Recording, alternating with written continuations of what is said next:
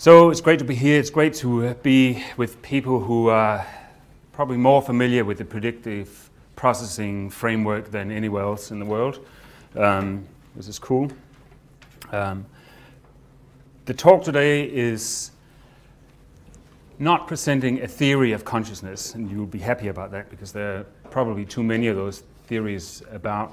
It will try to lay the ground for how to connect the predictive processing framework with consciousness science as such. So try to massage these two sides uh, so much that we can see why we should be interested in predictive processing if we're interested in doing consciousness science. So that's a way of saying don't expect a big theoretical construct. Uh, it's sort of bits and pieces, uh, and I'll try to organize that uh, for you as we go along. Okay, so here's just to get the, the juices flowing.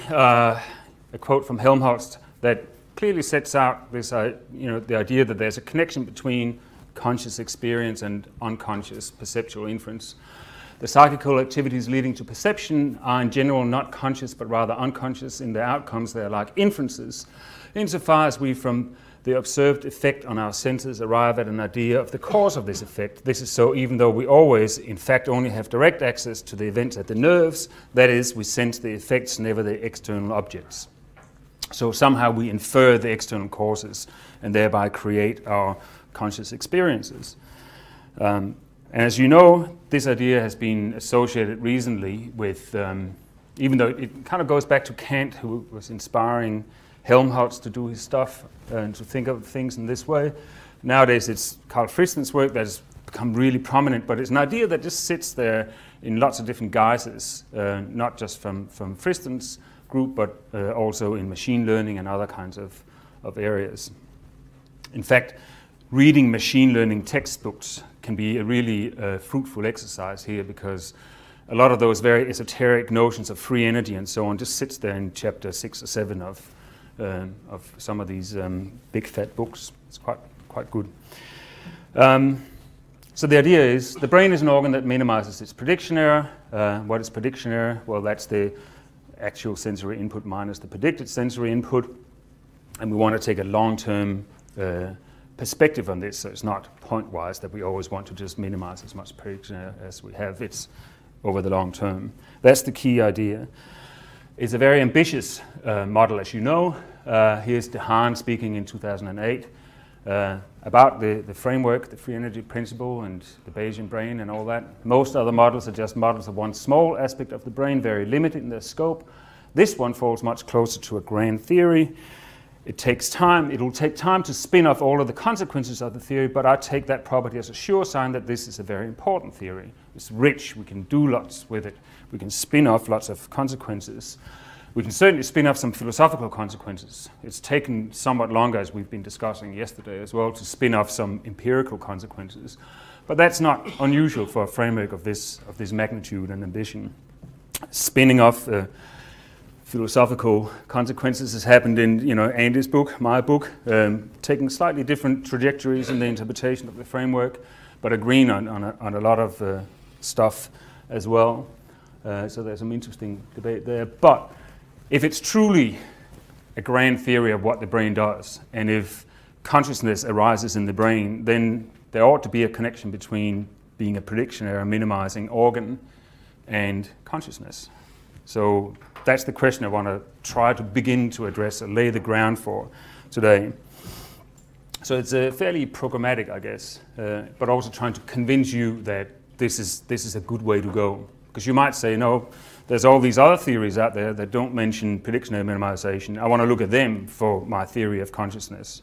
So part of the purpose here is to say, actually, we'll get a lot out of looking at this theory for consciousness specifically. So here's the first problem, which is that the prediction error minimization framework, or the theory of the Bayesian brain, is a theory of brain function. It's not a theory of consciousness. Uh, so you might say that that's a fairly bad thing if you want to make a connection. I think it's a good thing. I think that this is exactly what we want. We don't want yet another th direct theory of a straight theory of consciousness. We want something else. We want to be able to do consciousness science in such a way that the uh, when we search for the neural correlates of consciousness, or for the NCC, when we search for the neural correlates of consciousness, trying to associate certain conscious states with certain kind of brain activity, what describes that neural correlate could be captured by the prediction error minimization framework. So you pull out properties of the prediction error minimizing framework that helps you um, understand the neural correlates of consciousness. So the idea here is that we should ask which aspects of brain activity interpreted as prediction error minimization correlate with which aspects of consciousness. That should be the project for finding the neural correlates of consciousness. So we're stepping back. We're not starting out with a big fancy theory. We're just working within a very well recognized type of paradigm in consciousness science. That will give us explanatory and predictive power um, in terms of the neural correlates of consciousness. So the framework will allow us to understand, unify, and guide findings under the broad umbrella of consciousness science and trying to identify the neural correlates of consciousness. This harks back, this idea that we need to find a systematic NCC, harks back to some earlier discussions by Chalmers and others, uh, where there's a distinction between arbitrary and systematic NCCs, where arbitrary is just exposing the brain to something like binocular rivalry, seeing what happens in the brain, and not really interpreting that as a mechanism, as, as something systematic. It's just you just point at the blobs in the brain that are active when you see a face rather than a house. Whereas with a systematic NCC, you get much more explanatory and predictive power. That's where we should slide in the prediction and minimization framework. Still, to get explanatory and predictive power, you'd want to have some good gut feeling about what you're doing. You want to be able to move from what is essentially an equation from Bayesian inference to consciousness. And that looks like a bit of a stretch. That's just a mathematical formula. And we say this is how, you know, the brain is governed by various versions of this idea. Why should that have anything to do with consciousness? So I'll try to, um, to argue for this point, which is that actually when you look at it, the properties of the prediction minimizing, minimization framework are surprisingly promising for capturing consciousness. And here I'm using capturing, which is a weasel word, because I was promising you something about explanation and prediction, and here I'm saying capturing. So that's where, of course, we can have discussion how much we're actually explaining here. So I'll try to do this in two halves of the, the rest of the talk. One half that tries to argue that the prediction error minimization framework delivers and unifies most of the perceptual properties that are of interest to the search for the neural correlates of consciousness. So when we expose a participant to something like binocular rivalry, there's a number of things that we're interested in. Um, the gestalt, the role of attention, all those kinds of things. Those kinds of things fall really neatly out of the prediction and minimization framework. And the second half then says, quite apart from the perceptual properties, the properties of conscious experience, we can also use the framework to account for some theoretical properties, something that has fallen out of the existing theories of consciousness, suggesting that this framework is will capture an, a, a, fruitful intersection of the existing theories. So this assumes that the existing theories are not completely wrong. There's some kernel of truth in a lot of these theories, and we can capture that within this framework as well. Okay, so for the first, first half, we're trying to say that we can get some of the interesting perceptual properties. We can get that by starting from inference. Uh, so for, to do that, we have to start with what is this notion of inference that is at play in the, in the framework. Uh, and here I'll use a, a, simple example. We had a version of this example yesterday as well. Uh, and it's just a toy example, but uh, let's see how we go. So here you are uh, you have to figure out where the location of this sound is somewhere out in your auditory field, so from 0 to 180 degrees or something like that. Um, that's, that's the inferential task. There's uncertainty about it. You're not sure where it is. There's some noise in the system and so on. It seems reasonable to say that to come up with a good estimate, a good internal representation of where that sound is out in the world, a model that fits with the true state of affairs, you should rely on what you already know and you should rely on what you are learning in the particular situation as you get samples in from, uh, from the sound. And Bayes' rule tells us how to combine those two things in an optimal way. Right, so to solve this problem, we appeal to Bayes' rule. I think I showed this one yesterday. Maybe not. I find this, this I'm, I'm stealing this from some publications by Chris Mathys, who has a, a, kind of nice way of explaining some of these things.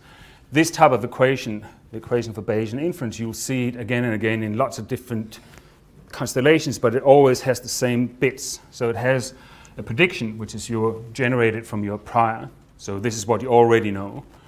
Uh, it has the prediction error, which is the subtraction of the new sample from the, uh, or the prediction error from the new sample.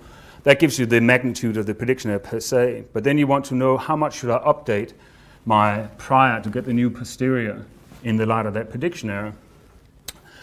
Um, you should do that by looking at um, the certainty about the prediction error and the prior. So we put a weight on that reflects that.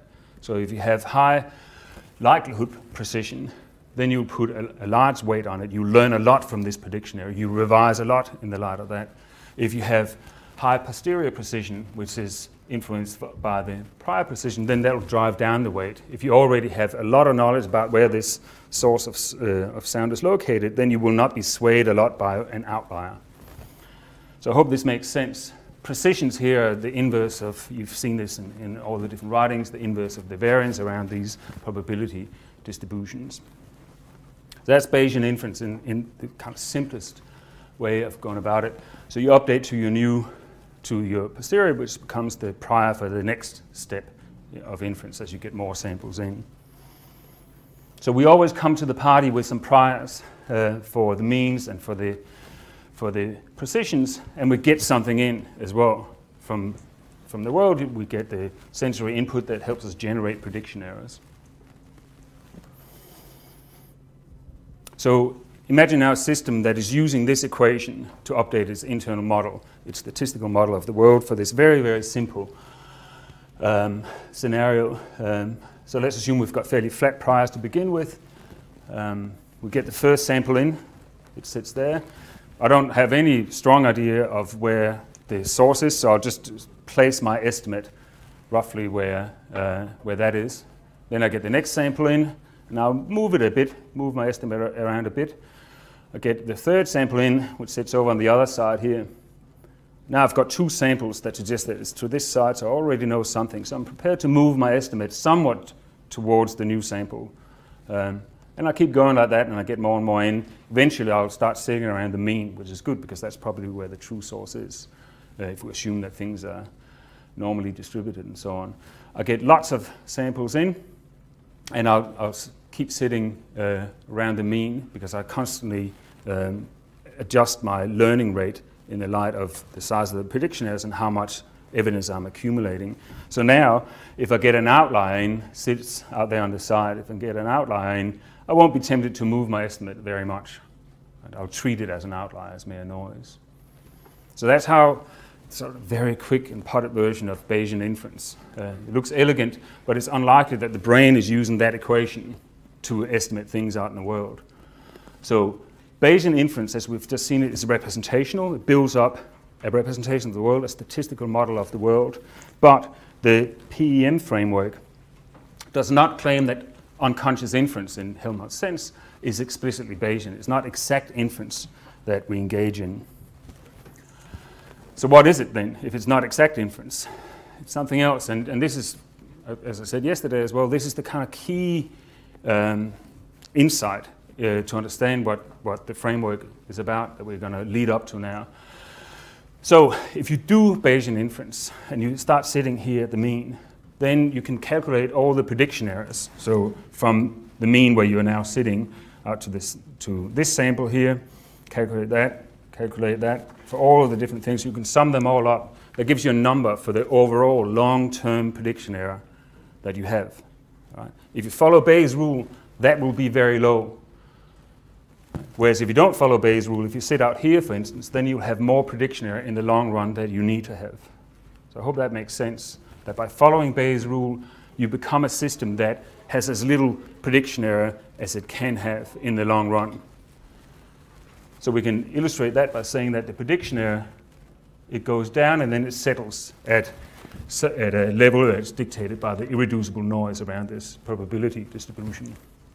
So it goes down quickly to begin with as we move, move around, and then it settles here, and then you get a kind of stable level of, of prediction error. So if you follow Bayes' rule, Bayesian inference will minimize prediction error in the long run. That's just an observation. But then we could turn this around. That's the, that's the trick. So we say, well, if that's the case, then maybe if I have a prediction error minimization system, so a system, let's say the brain, but it could be any kind of system, that in the long run can minimize prediction error, then that will likely approximate Bayesian inference if the probability distributions are uh, as we expect them to be and so on. So there's some assumptions that you need to have. So now you can tell a story that goes the other direction. You can say, look at any system. If it can minimize its prediction error, then it will be approximating Bayesian inference. So it's a system, we would call it a recognition model, um, where we just keep the prediction error low.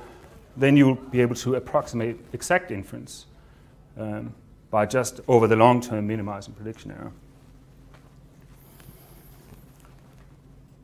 So the notion of inference that's at play here is not exact inference. It's another kind of inference. It's approximate inference. Because you approximate Bayes, Bayesian exact inference by being a prediction error minimizing system. There's some nice papers coming out now. Here's one from uh, Rafael Bogacz, who, who, simply sets out a tutorial on the free energy framework for modeling perception and learning. Um, and here we have a, you know, a particular example um, that he has where we have to estimate a parameter, and with exact inference, um, we can um, get at the, for, for, simple cases, we can get at the true posterior by following exact, uh, by following the equations for exact inference. With approximate inference, where we have a system that minimizes prediction error over some kind of time frame, we get this kind of wobbling around as we saw before, where you move your estimate around. And then it settles into an approximation to the true posterior. This is a, a nice paper, and we can see how the, the prediction error goes down as we, as we do that. And this is important because as soon as things become, we'll see that in a second, as soon as things become just a little bit more complicated and nonlinear than this simple case of just having one parameter out in the world that we have to estimate, then it becomes intractable mathematically to, to solve these equations exactly. Okay, that's the point I was just making. We've been considering this very simple case. There's something out there. There's a linear kind of um, flow in of, of sensory input, but the real world is not like that. The world is a complex changing place with multiple interacting causes. There's a nonlinear, that creates a nonlinear flow of sensory input that's difficult to explain. Like it's difficult to predict a nonlinear in, uh, flow of, of input. Right, so as soon as these guys start moving, then there'll be lots of occlusion of various people and lots of nonlinearities. Here's my favorite example of a nonlinear flow sensory input. So the goat is behind two trees and behind the fence. Then it jumps off the wall. And then it's behind one tree, but in front of one tree and in front of the fence. And the ball jumps off the goat as well. It's an incredibly complicated causal story, actually, and our brains just pick this up really quickly, which is amazing. So the nonlinearity in the input here is quite astounding, and we just, we just pick it up. So the question is, what processes should we expect for a system trying to minimize long-term average prediction error in a complex, changing, and uncertain world? Right, so we've agreed we want to look at a system that's able to get the prediction error to go down over the long term. Now we want to say that has to be a system that lives in the real world rather than just some toy example. So what should we expect to see? Well, we can, we can borrow from philosophy of science here. Look at the best makers for inference to the best explanation. Um, so if we have some kind of favorite uh, scientific theory, we want to be able to make good predictions, precise predictions. We want it to be as simple as possible because we know that um, complex theories tend to generate too much, overfitted theories tend to generate prediction error in the, in the longer run. We want uh, our theory to integrate well with other theories that we have, and we want them to be fruitful. A, the a scientific theory that has these properties here will tend to have to garner more and more evidence for itself in the long run. That is, it will be able to keep its prediction error low. And we should expect the same processes to hold for this system that we call the brain. So the idea is that if the processes that describe the prediction error minimizing system between our ears have those types of uh, properties, then we'll be able to keep the prediction error low in the long run, and thereby it will accumulate evidence for itself or approximate Bayesian inference. So a good heuristic here is to say that prediction error minimization is a bit like inference to the best explanation. It has the, the best makers that we often associate with that. And that speaks quite directly to the free energy principle, this murky construct that sits at the back of all of, all of this. Uh, so in some of the usual decompositions of the free energy principle, we get kind of cryptic ideas uh, such as that uh, the free energy equals the uh, complexity minus the accuracy, for instance. Well, complexity, that's just another word for simplicity. You know, if you have something that is not too complex, then it's simple enough to do the work. The accuracy relates to uh, active sampling that we'll get to with the fecundity. And for perception, we get the whole idea of precision-weighted prediction error minimization. So you can make a case that the free energy principle exactly sets up just those processes that we would expect a system to have if it's able to minimize its long-term prediction error in a complex and changing world. And now we can try hooking up these processes then to what people talk about in consciousness science. Um, so in terms of prediction, there's, I think there's an increased focus in consciousness science on um, looking at the role of expectation for conscious perception, the strength of expectations, and so on. Uh, and that has come up as this idea of the Bayesian brain has become more and more common. Um, so here's this, uh, some random, this is not random because it's our own. Um, so it's just there to, to brag about it. It's my first neuroimaging paper, so that's nice. Um, it's a really nice work from um, Floris de Lange's lab uh, with Peter Kok, prior expectations of oak stimulus templates in the primary visual cortex. That's the top-down suppression of um, prediction error. This paper from Jan Aru and, and Lucia Melloni, early effects of previous experience. So expectation, um, the effects that are very early, so after 100, 80 to 100 milliseconds, uh, you see effects of previous experience on conscious perception and so on. So there's this increased focus on that. And um, there's quite a bit of talk about the relation between attention and consciousness uh, from uh, uh Christoph Koch and Naoto Kier and, and uh, Jesse Prinz and other, other people. And this is also something we can begin to describe within the framework under the precision banner, because attention is just optimization of precision. So there's some nice work there, and of course that just speaks to this idea of the learning rate and the precisions involved there.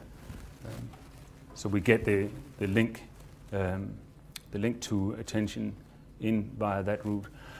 Issue of uh, simplicity, there's some nice work done on waking and dreaming here, in particular the idea that dreaming, during dreaming, the, the organ that is the brain is still just doing its prediction of minimization, but it does it in the only way it can do when the sensory input has really low precision, namely by pruning its, its model, by simplifying its model as much as it can, so that when it comes back online, when the sensory input during daytime is precise again, it will uh, generate less long-term prediction error.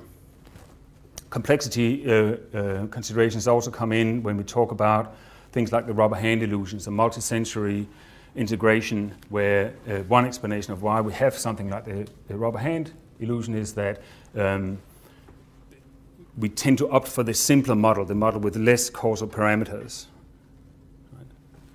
And if you have to have a model that has a, a, an experiment as the common cause of two different, uh, differently located sensory input, that's more complex. With integration, we get something I think which is really important, something that Andy has also talked about before, seeing the whole cat, seeing the whole goat behind the, the fence, um, the gestalt of conscious perception, something that is really important if we want to say that we're actually studying consciousness rather than just detection. So there's some nice technical work by Chris Mathys on the hierarchical Gaussian filter, earlier work by, by Karl Friston that is harder to understand. um, in terms of um, what it means to have this cortical hierarchy that allows us to integrate old knowledge with and contextual knowledge with what is happening right now. Um, so heuristically, it's, for instance, the idea that when we try to observe the, the goat in the fence, we are um, pulling in information, for instance, about whether it's daytime or nighttime and what impact that has on the precision of the, of the prediction error. So we have somewhere up in the hierarchy, we have those kinds of expectations that govern the way that we uh, approximate Bayes. Here's, here's one, a typical, as I said yesterday as well, typical Friston diagram uh, of the hierarchy where we have um, the cortical layers here and then we have different areas of the cortical hierarchy. Um, we have the backwards predictions. We have the error units and the state units, causes and states there. Um, and the kind of the idea is that prediction errors are generated by nonlinear functions that take the, the input and the predictions to generate the new prediction error. So this hierarchy is what we have to somehow operationalize. Um, and again, heuristically, here it is on, on its side. So we feed some kind of sensory input in. In this case, it's a goat and a fence. It's a nonlinear input because the goat is moving around behind the fence. So sometimes it's occluded and sometimes it's, it's not. And the idea is that the brain is a, a, hierarchical filter. It can filter out all these different regularities, regularities pertaining to the whereabouts of the goat at some fairly low level, maybe, whereabouts of fences, maybe at a different level or the same level, it doesn't matter. And then lots of other uh, regularities, for instance, as I said about the, the lighting conditions and so on. So we can filter those out as linear representations at, at different levels of the hierarchy. And then we can convolve all, all of those to, uh, to create a kind of an expected flow of sensory input. If, if all of these are convolved in the right way, we'll get an expected flow of sensory input that then hopefully fits with what we're getting in at the moment uh, in this way. So this is all just heuristics, but it will give you a sense of how the hierarchy is meant to work. We filter out, we recognize some causes, there's fence, there's goat, and then we can convolve all those to generate complex uh, sequences of, of sensory input. Okay? This is what will then allow us to minimize prediction error in the changing world, because now we are taking all these interactions between causes into account. So there's some, so now we're getting into the consciousness part of things. If you study consciousness, you're interested in representation, because a lot of consciousness is representational. You're interested in the interaction between representation and attention. You're interested in ambiguity and model selection in terms of illusions and hallucinations and all those kinds of things. You're interested in gestalts and the context sensitivity of, of, of uh, conscious experience. And those things fall out of these processes. So if you're interested in consciousness, you ought to be interested in this framework. Then the last bit is this idea about fecundity or fruitfulness or generating interesting predictions. So what does that hook up to? Uh, and that's action. You know, that's not going to be a big surprise that we want to have a, a good, strong role for active inference in this framework as well. So, so far we've talked about perceptual inference. It's the idea that you revise your model to fit with the, fit with the world. Right? So you revise your model gradually until it fits with, with uh, what's out there in the world. As we talked about yesterday, there's a very direct way of minimizing your prediction error. So we minimize our prediction error by revising the model, but I can also minimize it by turning my head. Right? So I believe that this source of, I'm blindfolded and there's a source of sound, uh, and my initial price that it's straight out in front of me comes from out, out there. I can minimize that prediction error just by turning in that direction. So, so it's cheating, of course, but nevertheless, the prediction error is gone.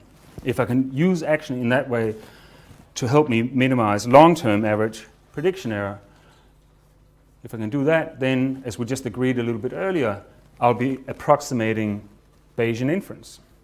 I'll be using action to do it, but it's still something that approximates inference. It increases the evidence for my model. That's why it's called active inference. It's an oxymoron.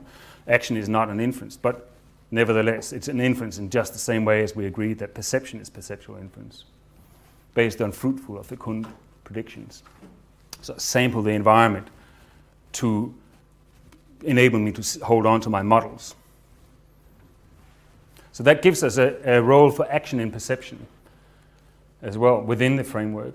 And there's growing interest in, in the consciousness uh, kind of uh, research environment, uh, increasing interest in the role of action in perception. There's some really nice studies of uh, how action, uh, so responses, play a role for um, for the brain response during binocular rivalry, for instance, how with responses or with action you get one kind of profile and without you get another.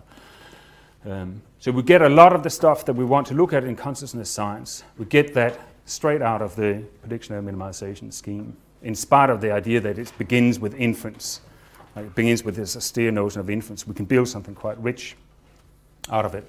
And there's a number of uh, nice papers coming out that look at uh, here the, the role of action in um, scene construction, what they call visual foraging, and how that connects to, to active inference. So just by working with the inferential system, namely under the label of long-term prediction error minimization, we can get to something like a unified architecture of conscious perception. Like just by playing with it and making sure that we have enough of a rich uh, cortical hierarchy uh, and enough uh, different aspects of attention and so on, we can get just the properties that we're after. So that means that th that question we started with, how can we get from inference to consciousness, we can, we can give a good kind of plausible answer to that, at least if we just focus on the architecture of consciousness. We're not saying, why is this content conscious rather than unconscious? We're saying, look at this conscious, uh, experience this conscious content, why does it have the architecture that it has? Well, that we can answer probably by using the prediction error minimization scheme as the uh, systematic NCC. So that's the first argument in here. It says that there's good reason to believe that this will be a fruitful way to go. And there's already lots of studies that, that try to play with the, the framework in just this way. It immediately gives us a, a challenge as well, though, so it's been put nicely by Andrew Sims. A problem of scope for the free energy principle as a theory of cognition.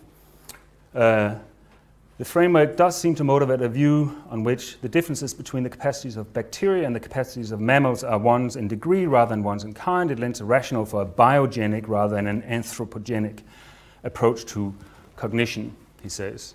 So we get, because the, the free energy principle is so general and the idea that, that creatures uh, minimize prediction error creatures other than humans minimize prediction error in this way, we get uh, some thorny questions about where, how far down the tree that we should find consciousness if we think that there's a close connection. So there's some nice questions to answer, or to ask and try to answer uh, as soon as we go down that route. Okay. So this is now onto the second part where I just want to pull out some properties of the prediction error minimization framework that um, speak well to existing theories of consciousness.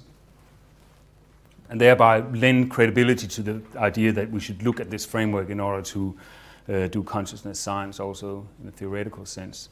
The first point I want to raise here is something I'm not, I'm not super sure that it's, it, I've put it in the right way, but it has to do with a distinction between recognition and detection. Um, and there's another paper by Andrew Sims and, and Paco Calvo. Paco, you here?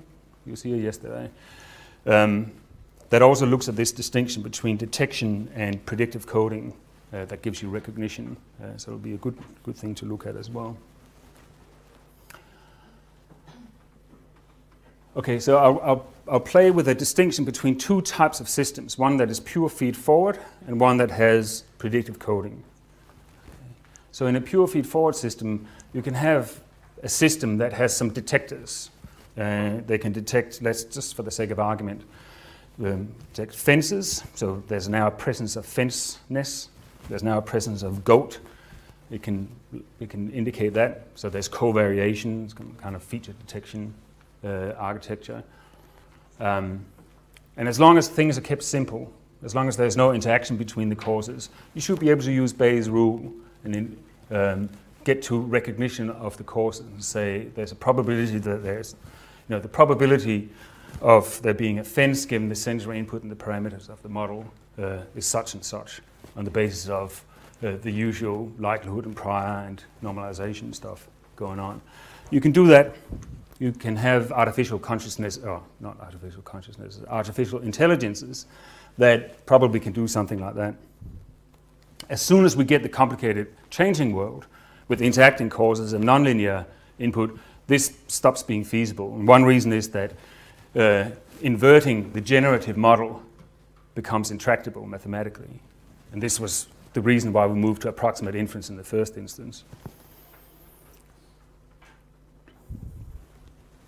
So the alternative to this simple system of det feature detection, basically, would be something that has recognition of causes in another way. Um, this is captured by, by the notion of um, the message passing in the prediction error minimizing framework. So the top-down predictions is predictions generated by the overall model. That's the generative model that's embodied in the, in the top-down predictions. And then the recognition model that allows you to extract, to recognize what causes are actually out there, that allows you to invert the, uh, the generative model, is embodied in the, in the way that the uh, bottom-up prediction errors will shape each of the nodes as they go up. So we have generation and recognition. In the, in the jargon, the idea is that by having prediction error minimization in this way, you get the inversion of the generative model implicitly just by running the prediction error minimization in this way. So it's as if the system is asking something much more complicated than what happens over on this side. It says, can this hypothesis about the causes actually minimize the occurring prediction error? Right, so we have a hypothesis that there's goats and fences out there and that they interact in a certain way. Can that actually help us minimize the prediction? If it can, then you get the inversion of the generative model implicitly. So you can now recognize the causes. So I'll play a little bit with, with the distinction between those two types of systems. So over on, on the left side, you have, cause, in a sense, they're causally flat, disparate representations. So they say there's goatness and there's fenceness, but it doesn't say anything about how those things could interact. So it doesn't allow you to recognize when there's occlusion of a, of a goat, uh, for instance, by the fence.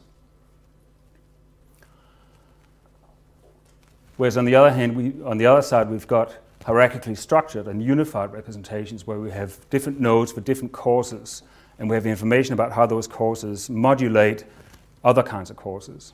For instance, how the, you know, in the toy example, how the fence will modulate the perceptual input from the goat. If you're interested, we think that that's a kind of causal statistical network analysis that it begins to look like the internal representations here are a kind of sophisticated description theory, um, which is quite neat if uh, you're into philosophy of language. So on the one hand, we've got detection uh, systems, and here we've got recognition systems with prediction error minimization. This kind of system over here can't really distinguish between two hypotheses about the world. One where we have, you know, the goat is behind the fence. Do we have just slices of goat or do we have whole goats? This system can't distinguish between them, whereas this system here can because it allows us to um, model that the goat is moving behind the fence because it has the causal structure. So the, for the recognition model, we can now distinguish between these two hypotheses. And the idea here would be that if you have the slightly idiotic uh, hypothesis that you're just looking at slices of goat, then you will have uh, not as efficient prediction error minimization in the long run because as you move around the fence, you will not see slices of goat. You will have prediction error increase because there is really a whole goat. The whole goat hypothesis wins in the longer term. Well, that's the thought, at least. So detection uh, systems will have causally flat, disparate uh, representations. Maybe some creatures, and this relates to the scope issue, maybe some creatures are very much on the detection side of things. Um, and I don't know enough about E. coli, really, to make this case, but assume that E. coli just has two detectors, one for nutrient and one for lack of nutrient. And then it has an active inference repertoire that says either swim or tumble. So swim up the nutrient gradient, or when you run out of nutrient, start tumbling until you find some more nutrient and then start swimming again. So probably there are some creatures out there that are very much on the detection side of things, even though they can be viewed also as free energy minimizers in some sense. Primates, octopuses, other kinds of things, I don't know where the limit is, or where the boundary, the threshold is, will have these hierarchically structured unified representations that allow them to deal much better with nonlinear, nonlinearities in the sensory input. So the detection side of things, you can deal with that with a sort of a bank of bottom-up nonlinear filters. Um, whereas recognition, you need something uh, much more uh, like our prediction and minimization scheme. So this is purely bottom-up, whereas on the recognition side of things, if you can invert the generative model, you can recognize things you will have to have bottom-up and top-down processes that integrate in some way. And that is something you find in pretty much every theory of consciousness. The idea that we can't just have pure bottom-up processing to have consciousness. You get consciousness, if you get consciousness then as a, at least a necessary condition, you need to have both of these flows. Of course, there are also theories that don't have anything to do with consciousness that also posit this, but it's interesting that these very different theories all have this aspect in. So the workspace theory have it, the integrated information theory have backwards and, and forwards uh, processing, recurrent processing theories, metacognitive theories, obviously, as you look down, uh, radical plasticity uh, theory as well, Cleeremans stuff, virtual reality theory, uh, Jesse Prinz's attended intermediate level theory, high order thought theories, and so on, all have some kind of bottom up, top down stuff going on. So it's nice that the prediction and minimization scheme delivers that. So here's a, a gloss on this. The prediction and minimization scheme provides a principled interpretation of the backwards connections and their integration with forward connections in the neural correlates of consciousness and in theories of consciousness. So if we were to ask, oh, that's, uh, we observe, oh, this is, this is interesting. All these theories of consciousness have this as a necessary condition that there's top-down and bottom-up integration. Why might that be? Well, appeal to the prediction and minimization scheme in terms of its ability to generate um, recognition, we get the answer. And we might even say something about consciousness here, and that's speculative, of course, but we might say that when you have consciousness rather than unconsciousness for a content or for a state, then that is about a system that is able to recognize causes rather than just detect causes of the world. So that to me is an appealing uh, idea because conscious experience has this kind of depth, the presence, um, uh, the significance, the meaning. It gives us understanding and so on. That's what a deep model does, a deep causal model does, rather than just detecting local sensory attributes. So I said that this is the second half of the talk, and this is the first of four points. Um, I'm not sure I'll get to all, all four of them. I'll, I'll, just mention a couple of them quite quickly. I think this is probably the deepest, the deepest one. A number of theories of consciousness focus on intrinsicality, the idea that processing is intrinsic. So here's first Tononi, uh, who says, so Tononi of the integrated information theory of consciousness, consciousness as a fundamental property is also an intrinsic property this simply means that a complex generating integrated information is conscious in a certain way, regardless of any extrinsic perspective. Revonsuo takes a more concrete approach here. He just focuses on dreaming, says that, well, we can be conscious while we're dreaming. That should tell us something about what consciousness is. During dreaming, the full range of subjective experiences is brought about by a brain that is effectively isolated from stimulus input and motor output the dreaming brain thus creates a kind of pure consciousness. So they're saying if you want to give us a theory of consciousness, you have to leave room for this kind of intrinsicality. The intrinsic processing alone is sufficient for consciousness. So we can ask, do we get that property? Can we pull that property out of the prediction error minimization scheme? And we can, uh, in terms of our friend, the, the Markov blanket. Uh, so here's a um, here are the tools that we have to play with. Here's how it looks uh, in terms of the external causes, the sensory states, then the top-down flow of predictions and the generation then of uh, prediction errors as these two things are subtracted from each other. Um, that contrasts to the bottom-up scheme. These are taken from Friston 2003. You know, the bottom-up scheme uh, where you just have detection in this way uh, that we discussed earlier. And clearly here we have this kind of separation. It's neat, though, because we do this in terms of Markov blankets, as we talked about yesterday, that both have the segregation, but it also has the embeddedness in the causal structure of the world. So that's neat. See you later, Andy. So, see, as soon as I mention Markov blankets, he's out the door.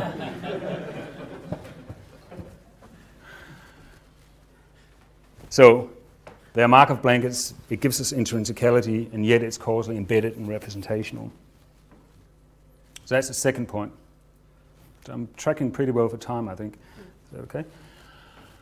Okay, so on to the third point. And these, I, mean, I know I'm going through these last four points very quickly. Uh, so they're meant as an invitation to start thinking about these things. How, how, you know, can we actually make this connection between existing theories of consciousness and uh, our preferred framework? I think some of the best consciousness science is done by Dehaene under the global neuronal workspace um, approach to consciousness. Uh, so this is the idea that when you go from something that is not conscious to something that is conscious, you get this kind of ignition of processing into some kind of mid-level, not too high, some kind of mid-level activity, a workspace, a mid-level workspace, as I call it here. You can see this. This is from their famous uh, paper uh, with Dehaene and Changeux, I think. So what he says is, conscious access would correspond to the crossing of a threshold in evidence accumulation within a distributed global workspace. Uh, during non-conscious processing, evidence would be accumulated locally within specialized subcircuits, but would fail to reach the threshold needed for global ignition and therefore conscious reportability. Um, back when I was writing uh, my book, I was thinking a lot about this notion of ignition. What does that mean? Ignition is it's a metaphor. Um, so exactly what, what is it that is, that is going on? Um, when, you know, what sets the threshold? When is enough, when, is, when do you have enough evidence to become conscious of something? So what I said then, I, I proposed something that is, you know, put it on the table and then it's something that, that can be discussed. The proposal is that anointing one hypothesis about the world as the best prediction error minimizer leads to ignition. So it, there's a reason why we now have ignition because the system will be using this hypothesis to inform predictions of the flow of sensory input as it acts in the world. So this appeals to active inference. Um, so it's the idea that when I have a hypothesis that is good enough, then I'll start running the consequences of acting upon that hypothesis. Uh, so what will happen if I reach out for my bottle of water, for instance? Um, it's that moment when I start planning that things get ignited as it acts in the world, ignition would be the point at which the system, given a specific context, is satisfied with the posterior probability for hypothesis, or when enough evidence has been accumulated, to warrant a shift to active inference and the production of descending proprioceptive predictions that then mediate action. So this is a way of saying that because we're the kinds of creatures we are, uh, we can act in a certain way in the environment, uh, and that is really crucial for um, for, for, how we represent the world and which representations of the world are important to us. And that explains then this threshold. So that's the, the third point, that we can even explain with this framework this mysterious notion of ignition. And this is the last point, uh, and uh, I'll just mention it very quickly. So there's a lot of focus in the last two, three years on metacognition and consciousness, and there's been some really great theoretical, I think, work done in terms of type 2 signal detection theory and so on. And a lot of it harks back to the high order thought theory in various ways. And I think that with our framework, we can give a quite specific explanation for why metacognition seems to be interesting for consciousness. Um, and it's this idea that when we look at this icon for prediction minimization, there's one bit that's really interesting and that you need to know, you need to have expectations about in order to know you're doing your prediction error minimizing job well enough. Namely, whether you are hitting the right boundary down here in terms of getting as far down as you can without starting to modeling to model noise. Right, so what is the irreducible noise here? How much noise should I expect? And you can't do the, the um, um, the precision weighted prediction minimization, you can approximate that if you don't have expectations for how much noise you will get, or how much uncertainty there will be in different situations. So the system must have expectations for noise in there. Um, so when we take this simple equation we had before and we turn it into the hierarchical Gaussian filter, this weight here becomes very complicated because it needs to be modulated by our expectations for precision, or what in the literature is called VOPs, or volatility prediction errors, that allows us to take unexpected uncertainty into account and learn about it. So the system must come with some kind of top-down estimation of its own states, not just of the states out in the world. And that, I think, speaks to these higher thought theory intuitions about a system that must always look down, except it's not the higher order thought theory. It's not that you re represent the content of your thoughts, you're just looking at the statistical properties of it. So, under the framework, all this metacognition stuff reduces to precision optimization. It has to be everywhere, but it's certainly necessary to find the winner as well. So, it's necessary for the contents we think are conscious. That's the fourth point. So I've given you four different points here that seem to pull out something that is either in every theory of consciousness worth discussing, or it's at least in a number of these. It's in, uh, an, an, aspect of some of the most prominent theories. That again lends some kind of credence to the idea that we should um, work within this framework. So that's the structure of the talk. The first part says that the framework delivers and unifies most perceptual properties of interest, so perceptual properties that we're interested in when we do research in the neural correlates of consciousness. It also accounts for backwards and forwards connections, intrinsicality, mid-level workspace ideas, and metacognition, and maybe more things beside that. So that's a, a research program. It's an invitation to do consciousness science with PEM. That's why I say that properties of PEM are surprisingly promising for capturing consciousness. It is merely inferential, but I think it's central to the science of consciousness. So that's it.